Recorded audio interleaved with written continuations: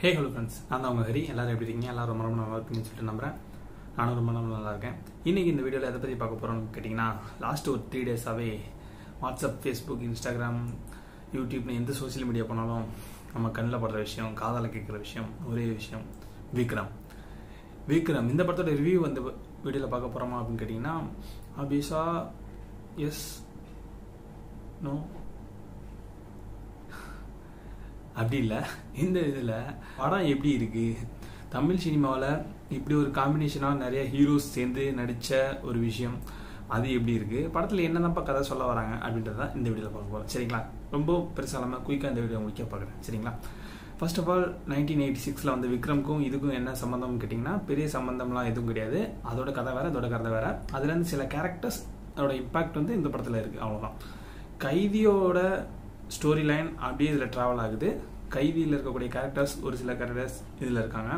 கைதி படம் பார்த்துட்டு இந்த படத்துக்கு போனீங்க அப்படின்னா வந்து விக்ரம் ஈஸியாக அண்டர்ஸ்டாண்ட் பண்ணிக்க முடியும். ஓகேங்களா கைதியில ஆகட்டும் இதுலேயும் ஆகட்டும் லோகேஷ் கனகராஜ் கையில் வச்சிருக்கக்கூடிய ஒரு விஷயம் என்னன்னு வந்து பார்த்தீங்கன்னா ட்ரக் இந்த ட்ரக்ன்ற விஷயம் நம்ம சொசைட்டிக்கு தேவையில்லை.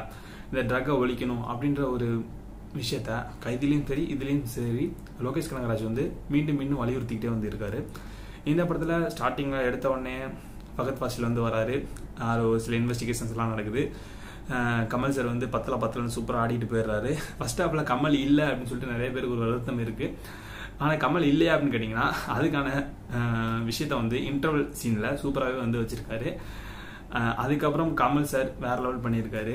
ஃபர்ஸ்ட் ஹாஃபில் வரக்கூடிய நம்ம விஜய் சேதுபதி ஆகட்டும். விஜய் சேதுபதியோட கேரக்டர் வந்து எங் எப்படி வடிவமைச்சாங்கன்னு தெரில எனக்கு தெரிஞ்சு இந்த சத்யராஜோட கேரக்டரை டிபெண்ட் பண்ணி இதில் வச்சிருப்பாங்க அதோட மீன் பண்ணி இதில் வச்சிருக்க மாதிரியான ஒரு விஷயம் வந்து தோணுது. அவரோட மேனரிசம் டோட்டலாக டிஃப்ரெண்ட் இருக்கு. அவரோட வாய்ஸ் வந்து சூப்பராக வேற மாதிரி வந்து பண்ணியிருக்காரு. ஒரு மாதிரி வாயை மூடிட்டு ஒரு மாதிரி பேசுகிற மாதிரியான ஒரு விஷயம்லாம் வந்து பண்ணியிருக்காரு. அது பார்க்கவே ரொம்ப ரொம்ப சூப்பராக இருக்கு. அது மட்டும் இல்லாமல் சூர்யா சார் சூர்யா பற்றி சொல்லவே தேவையில்ல. கடைசி ஒரு அஞ்சு ஆறு நிமிஷம் தான் வராரு. வந்தாலும் படத்தை அப்படியே தூக்கி சாப்பிட்டுட்டு போயிடுறாரு. கடைசி நிமிஷத்தில் வந்து. அது மட்டும் இல்லாமல் நம்ம கமல் சார் அவரோட நடிப்பை பற்றி சொல்லவே தேவையில்ல. இந்த இதுலேயும் சூப்பராக ஒரு மேனரிசம் சூப்பரான ஆக்டிங் பயங்கரம். சூப்பரான ஆக்டிங்லாம் நம்ம சொல்ல தேவையில்ல. அவர் எப்பயுமே சூப்பராக ஆக்ட் பண்ணுவார். அவர் இந்த படத்தில் வேறு லெவல் பண்ணியிருக்காரு. இந்த விஷயத்தில் அவங்கவுங்களோட கேரக்டர் அவங்கவுங்க சூப்பராக வந்து பண்ணியிருக்காங்க. பகத் வாசில் அவர் மனுஷன் ஃபர்ஸ்ட் ஆஃப் ஃபுல்லாக வேறு லெவல் பண்ணியிருக்காரு. இந்த டீனான்னு ஒரு கேரக்டருங்க சொல்லியே ஆகணும். நீங்கள் படம் பார்த்துங்க போய் பாருங்கள் இதில் பார்த்துட்டிங்கன்னா உங்களுக்கே தெரிஞ்சிருக்கும். இந்த டீனான்ற கேரக்டரை சூப்பராக வந்து வடிவமைச்சிருப்பாங்க. அவங்களுக்கு ஒரு ஃபைட் சீன்லாம் வந்து படத்தில் இருக்கும். அது சூப்பராகவே பண்ணியிருப்பாங்க. என்ன பெரிய ஹாலிவுட் ஹாலிவுட்டில் நம்ம பார்க்க ஃபைட் சீனா அப்படின்லாம் இருக்கும். அதை விட இதில் ஃபைட் வந்து அன்பரி மாஸ்டர்ஸ் வந்து சூப்பராக டிசைன் பண்ணியிருக்காங்க.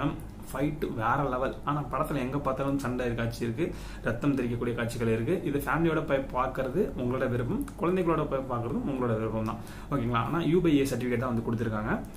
படத்தில் ஃபுல்லாகவே ஃபைட் சீக்வன்ஸ் தாங்க. எங்களுக்கு ஆக்ஷன் த்ரில்லர் பிடிக்கும் அப்படின்னா வந்து இந்த படத்துக்கு போங்க. இந்த படத்தில் போயிட்டு ஐயோ ரொமான்ஸ் இல்லையே சென்டிமெண்ட் இல்லையே அப்படிலாம் வந்து பார்த்துட்டு இதில் ஒரு சென்டிமெண்ட் இருக்குது ஒரு குழந்தை சென்டிமெண்ட் இருக்குது அந்த போர்க்கண்ட சிங்கம் படத்தில் ஒரு குழந்தை வரும் பார்த்துருப்பீங்க.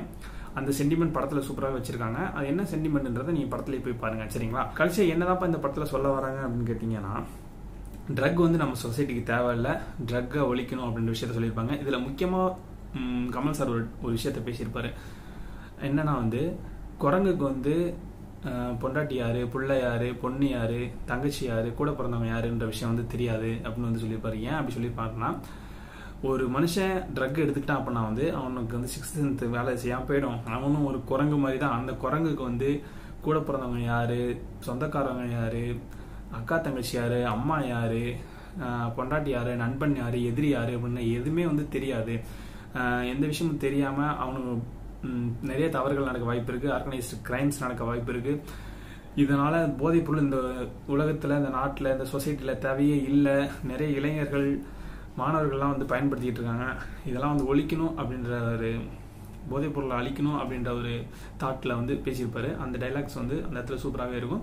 அது உண்மைதான். போதைப் பொருள் வந்து கண்டிப்பாக ஒழிக்கப்பட வேண்டிய ஒரு விஷயம் தான் கண்டிப்பாக ஒழிக்கப்பட்டே ஆகணும். ஏன்னா எனக்கு தெரிஞ்ச என்னோட நண்பர்கள் வந்து பர்சனலாக எனக்கு தெரிஞ்சு நிறைய ட்ரக் அடிக்ட் ஆகிட்டு அதுலேருந்து வெளியே வர முடியாமல் இறந்து போன நண்பர்லாம் கூட வந்து இருக்காங்க.